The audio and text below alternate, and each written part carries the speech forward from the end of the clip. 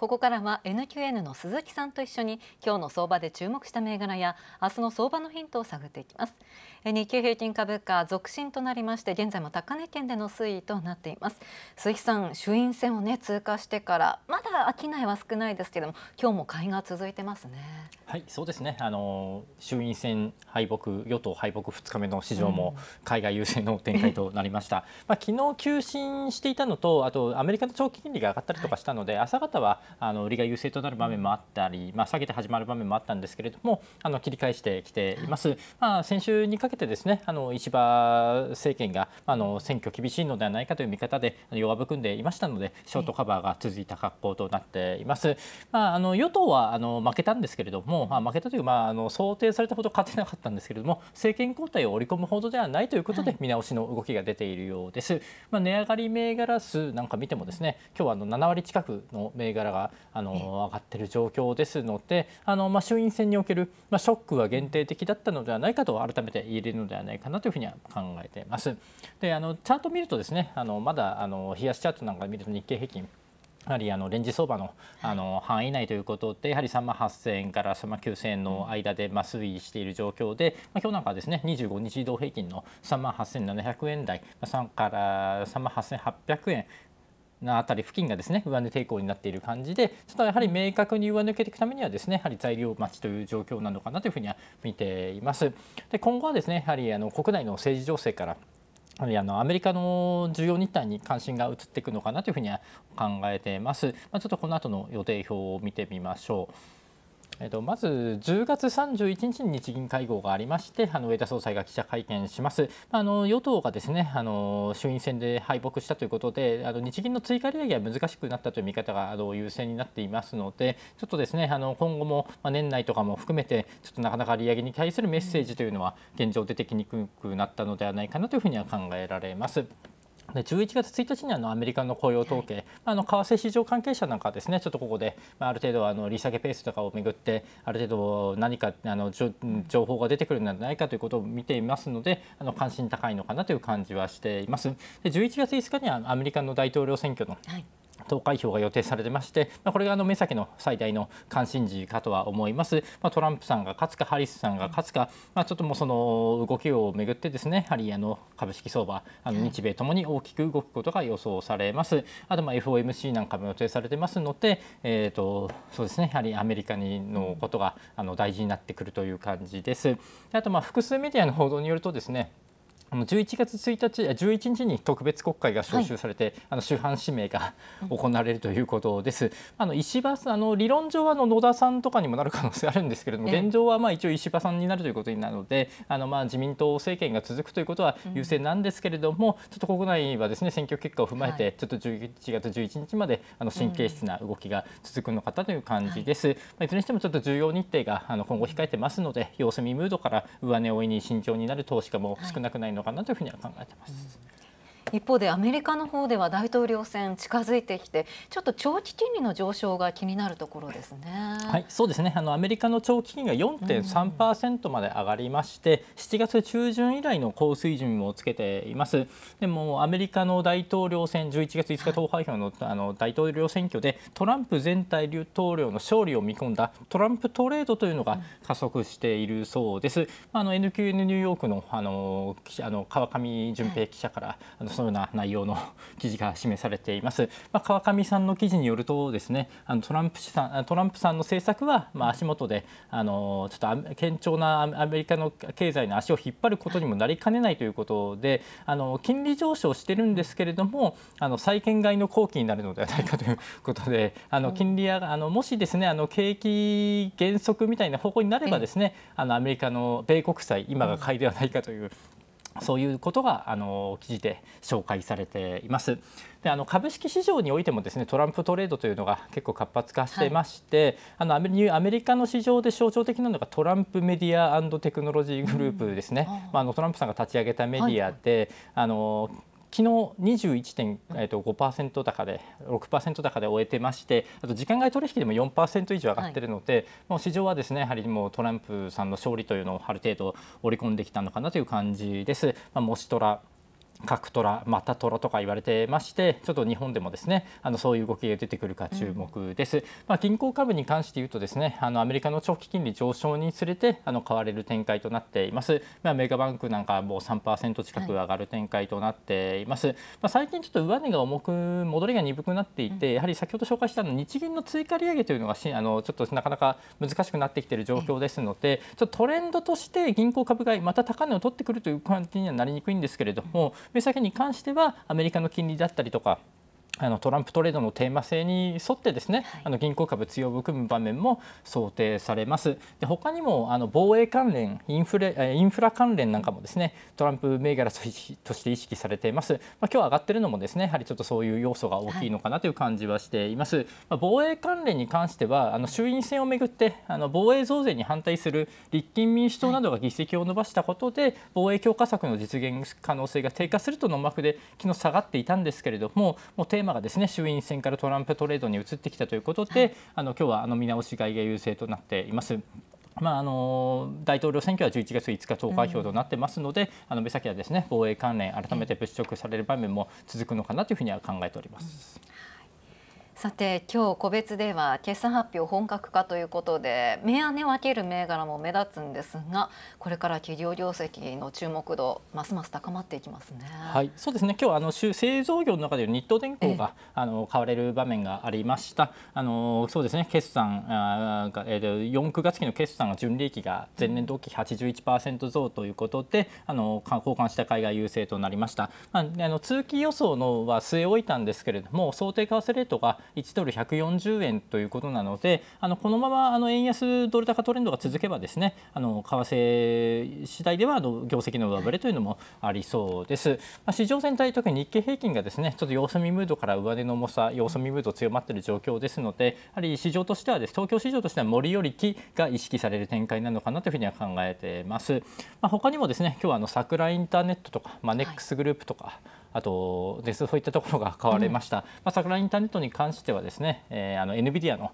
あの GPU をあの調達するということは発表してますし、まあ、それにつれてあの関連セクターのですね業績も伸びているということになってますので物色が向かってます、まあ、あのストップ高会計ストップ高まで行きましたので明日以降もですねあのー盛り上がっていくことがあの予想されます。あと他にも大型買収を発表した日本ペイントホールディングスとかですね、あのまあ買収はあまりちょっと大幅高につながることないんですけれども、やはりそうですね、あの交換した海外が入っているということで、やはり好好業績が出た銘柄には接資金があの一気に向かう展開になってますので、やはりあのその個別銘柄のですね動向をしっかり見ていく必要があります。はい、まあ為替市場を見ると1ドル153円台ということで円安ドル高基調続いてますので、あの今後本格化してくるあの主要企業のですね通期予想の下振れの懸念というのはあの後退していると改めて言えるのではないかなというふうに見ています。今日はあの引け後に小松 NEC、JR 東海といった銘柄が決算発表してくるので、うん、あの明日以降も決算プレーに注目です。はい最後に、まあ、取引時間東証のですね延長まであと1週間となりましたえ場中に決算発表するところも増えてきそうですね。はい、そうですね。あの土日にあの日経新聞の報道でですね、はい、あの上場企業のあのが決算発表時間を前倒しする動きが出ているという記事が出ていました。うん、まあホンダとかあの TDK とかですね、あの開示時間をあの取引時間中に早めるということです。で、あのアメリカでもあの似たような記事が出てまして、あのニューヨーク証券取引所がですね25日に取引時間を1日22時間へ延長する計画を発表したということになっています。はい、まあ、そうですねちょっともうあの本当にあのもう取引時間が長くなるというのがもうあの状態化してきてきたのかなという感じはしています。まあ、東京市場の場中決算に注目です。あので取引時間があのちょっと来週私の来週の出演から15時半になるということで、はい、多分15時終わりが今日が最後ということになるんですけれども、あうん、あの日経 CNBC もですねあのヒルエクスプレスの延長とかをあの昨日発表しているのであのそれはあの見た方がいいかなという感じです。であの場中決算増える見通しとなってましてちょっと11月6日に注目しています。あのまあもともとあのなんですかねあの決算発表してたと思うんですけれども、はい、今回からやっぱりちょっと場中決算があのかなりあの集中するという展開になってます。まあ、日本郵船とかは元々お昼ぐらいに発表してたんですけれども、ね、ホンダとかはですねちょっとやはり、はい、前倒しですね。はい、もう場中になってしまったので、うん、で取引時間終了は15時半なのでやはりもう2時間以上ちょっと、そうあの発表されてから取引されるということで、はい、ちょっとこれからはですねあのちょっと投資戦略とか、うん、あの変わってくるのかなというふうには考えています。あの投資家の皆さん皆さんからするとこれまでのようにじっくり考える時間が、はい、あのなくなりますし、うん、あとメディアとしてもですねやはりもうあのちょっとあのこれまではあのちょっと分析して次の日どうなるみたいなことを書いてたと思うんですけれども、はい、ちょっとそういうのが難しくもうすでに動いた後でどうなるのかということになります。まあ、先ほどもあの直井さんとかあの和島さんがあの朝のあのお宝取って出しどうなるみたいなことを議論されてたんですけれども、うん、ちょっとですねあのちょっとそういう紹介の仕方も、はい、銘柄の紹介の仕方も今後変わってきそうです。あとそのあの場中決算の後にあのアナリストのあの向けの説明会とかも開催されたりするのであのばあの発表直後に株価が上がったり下がったりしても翌日にですねあのアナリストの見解次第で株価の方向が一変する可能性もありますので、ちょっとですねそのあたりはあのしっかりあの注視していく必要がありそうです。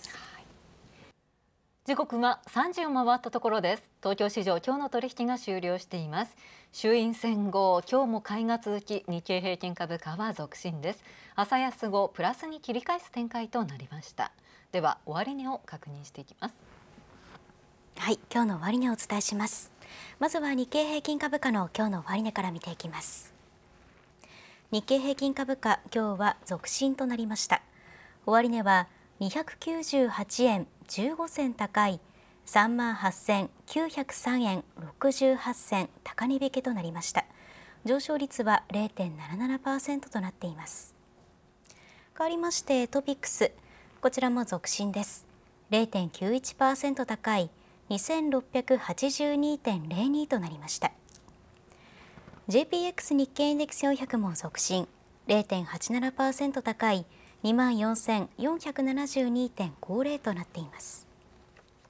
はい日経平均高値引けということで300円近い上昇で取引を終えています。いやこれまで上値の重い展開続いていたからなんだか久々な感じもしますけれども今日はトピックスの方が優位でしたね。はいそうですね。あの先週にかけ先週までですね、うん、やはり与党のあの衆院選の敗北を織り込む形であの日本株弱含んでましたのであの週明けはですねあの政権交代とか最悪の展開にならなかったということで、うん、あの見直し買いショートカバーがあの優勢の展開となっています。でまあ今後はですねあの一応その11 11月11日にあの週半指名のある特別国会開かれる見通しなんですけれども、その前にですね FOMC とかあとアメリカの大統領選挙の結果とか分かりますので、やはり目先はですねあのアメリカの日程を見ながらあの様子見ムードが続きやすいのかなというふうには考えています。まあ、トランプトレードアメリカで活あの活性化してますので、もしトランプ大統領誕生なるか、まあ、とかですね、あとまあハリスさんが勝ってもですけど、あのまあそのテーマ性であの日本株もあの動く展開が続くのかなというふうには考えています。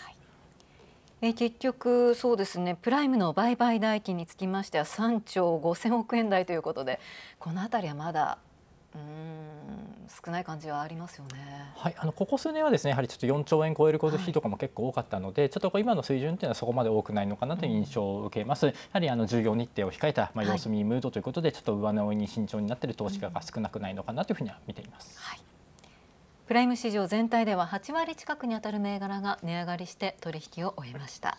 ではランキングから個別株の動きを振り返ってみていきます。はい個別株の動きを見ていきます。まずは東証プライムの売買代金のランキングです。今日9位には7378桜インターネットです。3778桜インターネットです。昨日発表した第2四半期の決算で売上高が前の年の同じ期から28%増。純利益が4.1倍と大幅な増収増益となりました。生成 AI 向けの GPU クラウドサービスの提供開始などが寄与したということです。またさらなる GPU 基盤の早期整備に向けた追加投資も発表。株価は今日ストップ高水準まで上昇しました。続いて値上がり率ランキング。4位には送配電機器が主力の6617東高高岡です。昨日今期の業績について売上高を1050億円から1060億円に営業益を40億円から50億円へ情報修正すると発表しました。一般向けのプラント物件やスマートメーターなどが伸びているということです。株価は今日およそ4ヶ月ぶりの高値をつけました。続いて値下がり率ランキング。3位には障害者向けの支援事業を展開している7366リタリコです。昨日今期の各利益の下方修正を発表。純利益が前期から49%減の18億円としました。また野村証券では児童福祉の稼働率低下などを考慮し昨日付で目標株価を2990円から2120円に引き下げています。株価は今日およそ2ヶ月半ぶりに安値をつけました。ではここで日経 CNBC から大切なお知らせです。東京証券取引所は来週11月5日火曜日からの取引の終了時間を30分延ばします。午後の東京市場の動きをノンストップでお伝えしているこのヒレエクスプレスもこの変更に合わせまして番組終了時間を30分延長します。11月5日以降も各コーナーの放送内容はこれまで通りですが現在13時45分以降に放送しているコーナーは15分から30分放送時間が遅くなります。日経 CNBC のホームページに各コーナーの放送時間を掲載していますので事前にご確認ください。そしてスマホやパソコンでご視聴いただける日経 CNBC オンラインでは今週木曜日15時10分からライブ日銀総裁会見裏解説を会員限定で配信します。上田総裁の会見を分かりやすくかつ丁寧に説明していきます。また会見中は Zoom のチャットで上田総裁の発言の補足説明や記者の質問の意図などをライブで解説します。なおご視聴には日経 CNBC オンラインへの事前の申し込みが必要となっています。またこれまでテレビでご覧の皆様にお届けしてきましたライブ日銀総裁会見。こちらは今回をもちまして放送を終了させていただきます。あらかじめご了承ください。そして今週金曜日21時20分からはアメリカ雇用統計ライブ解説をお送りします。みずほリサーチテクノロジーズプリンシパルの小野亮さんが発表されたばかりの統計の数字からは読み取れない部分や今後の展望などを分かりやすく解説していきます。いずれもご視聴には日経 CNBC オンラインへの事前の申し込みが必要となっています。詳しくは日経 CNBC のホームページをご確認ください。